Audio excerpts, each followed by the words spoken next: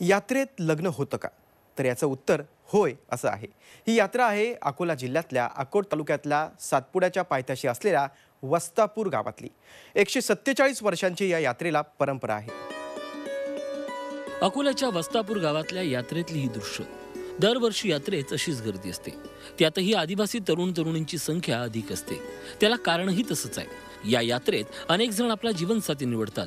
दिवाळीनंतर येणाऱ्या पांडव पंचमीला दोन दिवसांची यात्रा असते. जत्रेत आलेले हे भालचंद्रन भगीरथी थोटे दाम्पत्य.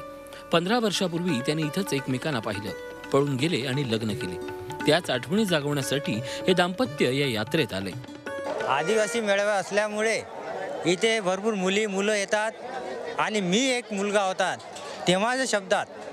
आणि मी एक मुलगा होता मला एक मुलगी पसंत पडली त्यांच्यासोबत माझी गाठ बांधली आणि मी मॅरेज करून बसलो. लग्न झालेलं झालेलं आहे माझं.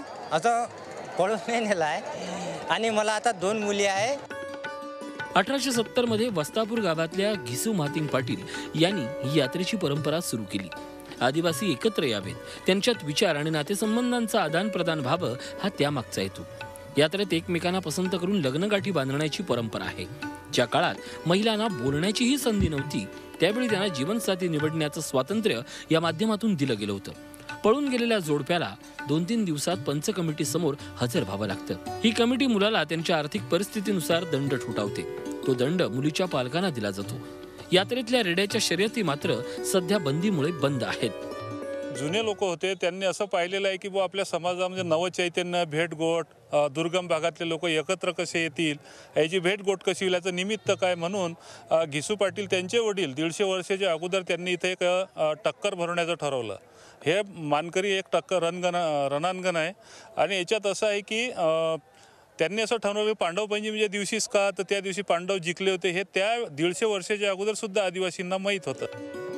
यात्रेसाठी हे गाव नवरीसारखंच असतं ही यात्रा म्हणजे सातपुड्यातल्या आदिवासींसह पंचकृषीतल्या गावांसाठी जणू आनंद मिळाच. त्यांचे जे इथं लग्न होतात खूप चांगले होतात बगर हुंड्याचे लग्न इथं होतात आणि ते संस्कृती मी अठ्ठ्याऐंशी पासून मी पाहत आहो.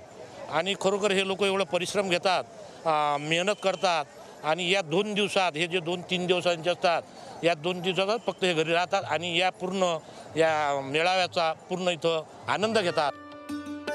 आदिवासी संस्कृतीला वैभवशाली बनवणारी ही परंपरा एकदा तरी पाहण्यासारखी आहे. Jai Jagad Zee media Akola.